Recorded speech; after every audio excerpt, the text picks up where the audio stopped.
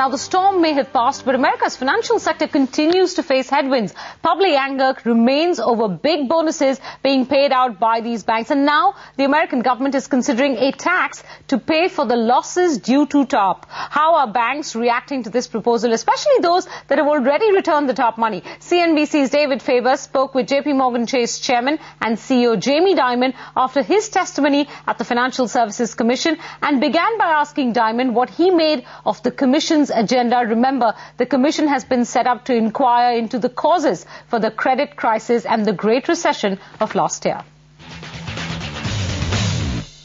I think it was completely uh, appropriate, and I think they have a very important job to do, which is dig into what happened, look at all the facts, all the information, do real diagnosis, and try to help you know, make the American uh, system work better. And to those who would say after they conclude that, of course, so many are already giving their prescriptions, that size is one component of the key problems that we've faced. Uh, I know in your testimony you disagree with that. Why is the size of a financial institution not perhaps indicative of a systemic problem and therefore something that should be uh, ameliorated? Well, first of all, you had a lot of failures, okay, and they were large companies and small companies and mortgage banks and thrifts and insurance companies, and it wasn't size alone. And, you know, when you look at just size as an economic thing, there's a reason for large companies. You know, we have in America some of the best companies in the world.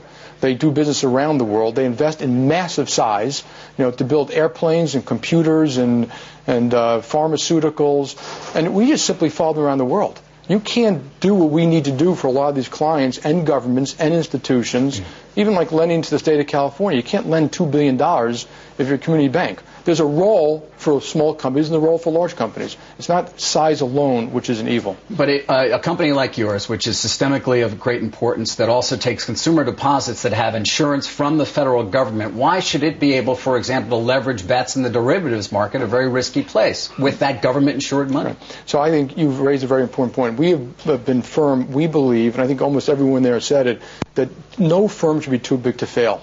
But in the new world, the regulators need more authorities to deal with failure. So that we think had they had the right authorities, they could have dealt with Lehman in a better way, AIG in a better way. The American public doesn't care if we fail. What they care about is if we fail and it hurts them.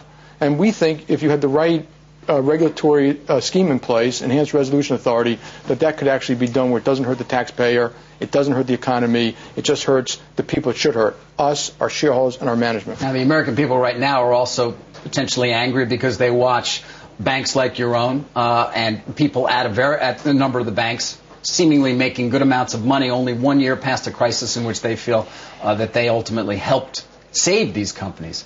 Uh, you've said in your testimony, your written testimony, you think compensation at your firm is appropriate. Why? Well, you know, first of all, we have 220,000 people. I mean, I think it surprises people. 19,000 are programmers and network engineers. We've got uh, internal security, real estate facility. We've got data 89 data centers around the world. So when you talk about compensation, we try to pay everyone fairly. So we look at every person and we try to have deal with them properly. We also have some high-paid rainmakers and producers who. You got a lot of high-paid. Who, you got high-paid traders. You got some high-paid investment bankers. La- uh, you know. Last year, we paid over a million dollars to like 1,100 people, maybe maybe possibly more. Okay, we have 223,000 people, and you know we have a lot of successful people. We have a lot of complex businesses, and you know, comp was way down last year, and we haven't done it yet this year. So uh, wait and see before you criticize us. and is that a message you'd send to the American people? Wait and see before they criticize no, it. No, I th- we, we have to. Again, you have to understand. Company people who did badly should pay for what they did. Not everyone did badly.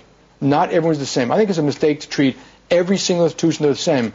One of the uh, commissioners pointed out today that he would really like to hear from all the companies that failed that some of the companies you're talking to are the ones who've survived, and I think that's a good thing for America. I do understand the anger. You know, we have seen a lot of com- people make a lot of money and leave and take their after the fact the coins went down the tube and hurt the American economy. Well, that makes me angry too. Punish those people. Right. Well, what about the asymmetry? And this was one of the final questions brought up about compensation. You seem to say there is something there that is yeah. still in effect to a certain extent that should be addressed. Look, I think there's always, in some businesses, not just in ours, sometimes asymmetry. You can make a lot, but you can't lose a lot. The way we ameliorate that is if, if you work for us, the more senior you get, the more stock you own, the more we look at the big picture, we risk adjust everything. Uh, we don't have change of control, the severance packages, all those things that people can walk out and still keep a lot of money. And we've added all these clawbacks. I should point out our senior management team, last year we had 100% clawback, meaning that with my recommendation and board approval, the people report to me, we could take back 100% of their unvested stuff. And we for almost no reason at all. Now, of course, you can't treat people like that totally, but right. but it was a pretty much percent, 100% clawback. So you'll see more of those things. You, will we start to see some clawbacks? You do. I mean, the question was asked we, but not answered. We have done a few, yes. You have done a few. Yeah. Um, the Obama tax. Uh, I asked Mr. Moynihan. Uh, we're going to potentially hear more about it tomorrow. But on the face of what we know at this point, do you believe that to be appropriate? I think that using the tax system to try to punish people is inappropriate. But I don't think it's. Uh, but I don't think it's inappropriate. I want to be very clear. Is that if you have a resolution mechanism that is that like the FDIC has today, that the industry pay for it. So I think it's perfectly reasonable the industry pay to take care of itself. I don't know how the auto companies deal, f- fell into that, but I think that concept is a decent concept. I'm not sure it should be within the tax structure. But there should potentially then be some sort of a fee here in terms of at least. Like, like the FDIC does with deposit premiums right. today. So if you said there's a right way to handle it, you know, TARP helped a lot of people, it helped the system. Yeah, we don't mind that somehow that uh, the industry helps pay for having righted itself. Uh, and finally, I know you're going to report earnings in a couple and of I days. just, but, but yeah. we paid billions of dollars of FDIC premiums. Okay, TARP costs money, so it isn't like there's no charges here. We lost a lot of money to the auto companies, and we don't. We understand, but let's let's be. But I think to the reasonable. extent that they can, that that money will go, and you know, the capital becomes more dear for you, and therefore you don't take as much risk as you might otherwise. That also lends plays itself into it. Might be appropriate. No, no, I think that's that's true. Yeah. Uh, uh, finally, uh, reporting earnings in a couple of days, so I know you can't talk specifics, but what's your take right now in terms of generally in the economy? You know, I'll be looking closely at home equity loans from you guys. You do a good job of breaking it out. Credit cards. Have we seen a top in delinquencies? Do you expect delinquencies, defaults in those asset classes to Okay, decline? I'm, I, you know, as you know, it is we're, releasing earnings on Friday, so I can't say that. As of November 30th, okay, the good news has been that delin- it seems that delinquencies. Uh, of course, almost all consumer products have leveled off. That's a very good thing. And you see the same signs I see. There are signs of kind of growth out there. I've got this abiding faith in the American spirit, work ethic, entrepreneurialism, and innovation. We, it will come back. We just, you know, I just don't know exactly when, but it will come back. And finally, this question was asked a lot. Had there been no TARP, had there been no government assistance at all, um, it was asked to Mr. Blankfein numerous times, would we have a financial system to speak about right now? Well, yeah, I, I think the answer is yes. I think that, again, you know, it's very simple. In our world, we make everything binary. And I think it's a mistake. It's not a binary. There are people who would not have survived with it.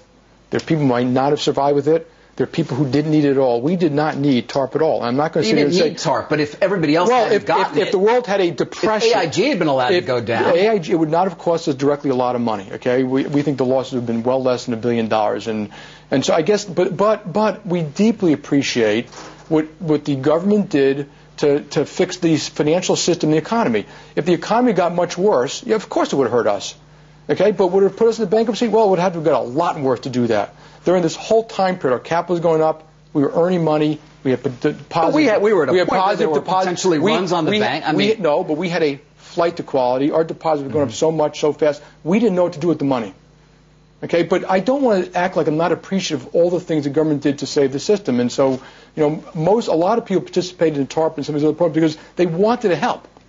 It wasn't about profit. It wasn't about your company. It was about helping your country, and we're going to continue to do that. As you know, we've been at the forefront of uh, HAMP. We've been at the forefront of almost everything that we can do. California needed money, we lent. When Illinois needed money, we lent. In terms of We foreclosure started a mitigation, We I just started a whole new small business program. We're going to do everything we can. Well, your balance sheet's still coming down in terms of assets, and your lending standards are still tougher, and your leverage ratios are coming down. So you do everything you can, but you're going to be pressured to do a lot more that you can't. We're, we're under a lot of pressure to do a lot of things, but we are still lending $2 billion a day to, to a lot of customers, and credit standards are really not getting tighter anymore.